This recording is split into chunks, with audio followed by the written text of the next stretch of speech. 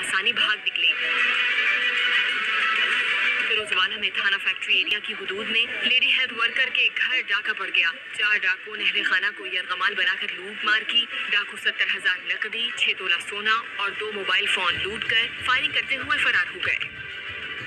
उमर शरीफ को नमोनिया हो गया। अमरीका